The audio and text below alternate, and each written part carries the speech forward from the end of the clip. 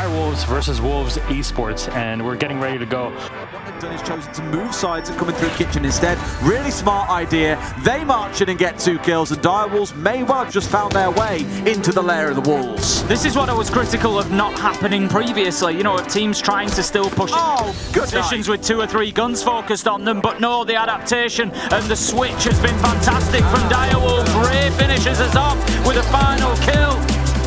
They need to be confident, they need to be sure of what's going on, of what they're doing. They're not going to have an opportunity at this rate to get the defuser down. P4 keeping himself out of dodge. Big kill there, big moment as Shinka gets Ray. Two seconds left to go. Just needs to keep himself alive, but no! Suplex somehow manages to find that kill. You can see the frustration amongst Wolves as a team. Again, to this point, I touched on Mowwwgli really it there, and he goes in for a second peek. It's kind of like an unwritten rule. You go for that second peek chances are you're losing your life to Pecan, reminding him of that rule. Up on these members of Wolves that are sort of overstaying their welcome on the other side of the map. Pecan into another, catches people crouch walking around sites. Largely almost casual from Dire Wolves, to be honest, yeah. that round. A lot of those kills were just coming in front of them. Mm. Wolves just need to be careful of the movement here because oh. there are enemies deep inside, and that's going to leave us now 2v2, 50 seconds left to go. There's plenty of time for Dire Wolves. They don't have to rush a thing. That's what they spoke about on Kafe.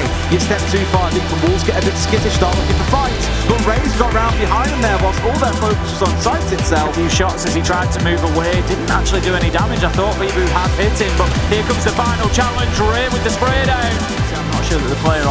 On the Black Stairs was aware. He is now, and it's an absolute freebie as Harambe walks down and manages to get the kill in his back. Rise is going to be taken down as well. That leaves us now in a 4 versus 1. The round is over, and Dire Wolves have got themselves an opportunity on map point.